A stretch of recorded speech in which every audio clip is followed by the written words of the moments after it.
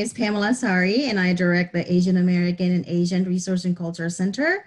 Our center was founded in the spring of 2015 as a result of faculty, staff, and student activism for more than a decade, decade long. So, fun fact about me was that I graduated uh, with my PhD from Purdue University, and when I was a graduate student, I was involved in some of these efforts to propose the Asian American and Asian Resource and Culture Center. So I always say that um, I have a full circle of engagement with this center. So our center is a resource that invites all Purdue communities to weave diverse Asian and Asian American experiences into our campus life. So we do this through the intersections of pedagogy, cultural work, and advocacy. Some of our signature programs include Lunch and Learn every Thursday um, in the fall and spring semester. And also our speaker series, we invite speakers from um, all across expertise into Purdue campus. And we also celebrate cultural events such as our annual Lunar New Year celebration. We also work with faculty and staff across the colleges um, to weave Asian and Asian American experiences into the classrooms. We also work very closely with Asian interest student organizations. There are so many of them that you can get involved with. So again, we welcome um, your interest if that's, that's something that you are uh, really interested in. We also have an active social media presence. Um, on my background is our website, and also you can find us and our daily thematic content on Instagram and Facebook, and also we are on Twitter as well. I can speak of the impacts in terms of uh, two things. One, for students who identify as Asian and Asian Americans, we foster a sense of belonging and growth of identity, and also a sense of collaborations with each other in terms of Asian Americans and Asian internationals.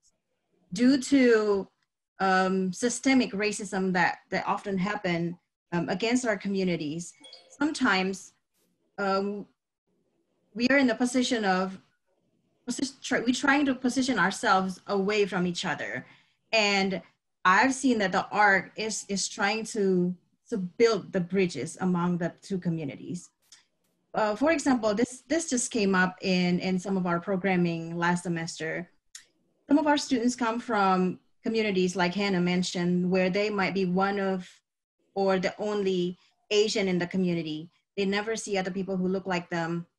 And when um, they're in school, uh, suddenly there's a feeling of shame about, you know, bringing their own food to to the school, for example. There's a there's a sense of shame and also a sense of, of shaming. And when we talk about right um, food, for example, what is what is your favorite thing to cook? Um, and suddenly that conversation is flowing about yeah i remember the time when i feel ashamed of bringing even my own uh, cultural food food that i eat at home into my education setting.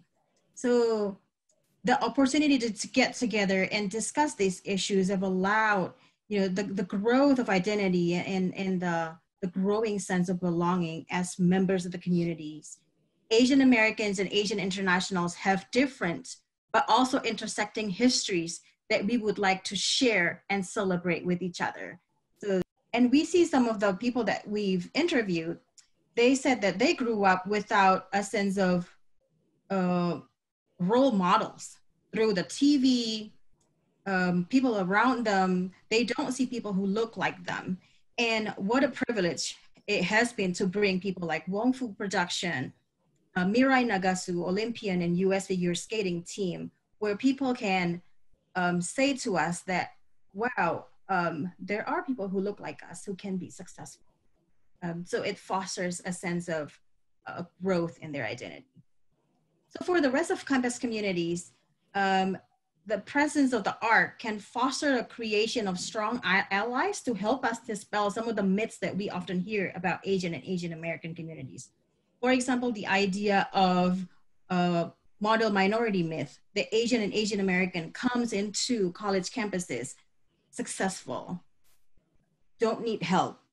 So, and by looking into the diversity of our communities, we can begin to see, right, many of us actually need help.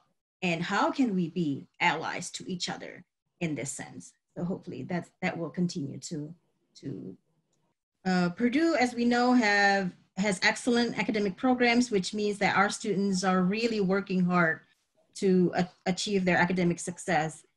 And my favorite, and honestly, my favorite, some of my favorite moments at the ARCS is late afternoon when students come together with their communities, um, working at the ITAP computer lab at the center or u- utilizing the conference room at the center. And I can see them um, trying to teach each other homework while singing together, um, going to the kitchen to get something to eat and back and discussing again about their homework and their classes.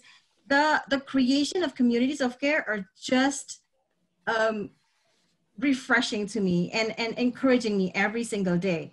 And in fact, um, from some of the students that we talk to and also staff members that we talk to, mental health professionals um, actually also recommend our students go to these types of communities and go to student organizations um, in our in our case with asian interests to to get that that sense of community and and to get that sense of care um, with each other. So that's something that i really um, am touched every time.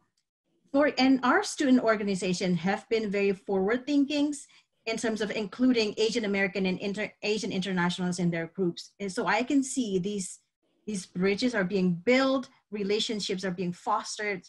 So that is, that is one of the excellence um, efforts that I've been seeing coming through.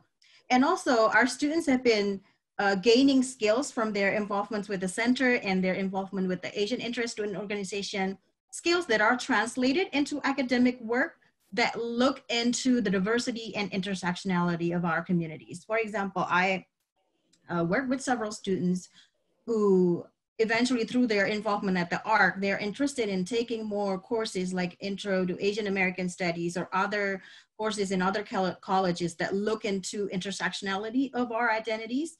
And they decide to pursue further education, um, looking at their own communities, um, looking at intersectionality of work in, you know, across our communities, and they translate that into graduate school applications into their work. Writing letters of recommendation uh, is also one of my favorite things to do because I can see that their aspirations really translate into um, growing skills, growing academic work and skills. So there are many ways that you all can get involved with the ARC. First one is, uh, like the other directors have said, visit the cultural centers. We have welcoming staff at the ARC. We also have a graduate student and two undergraduate staff members um, who can speak with you. And uh, if you want to learn more about what you can do to get involved. Also, I would recommend participate in our events, not only as attendees, and uh, being attendees are great, but also as organizers mm-hmm. and presenters. Um, our students have been presenting at our weekly lunch and learn. For example, one time, um, a couple students presented on the history of chopsticks and how, you know, the history of chopsticks represent diversity of our communities.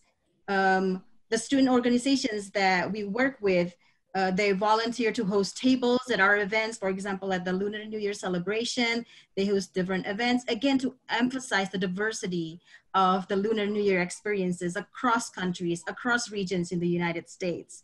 They participate um, as volunteers in our speaker series.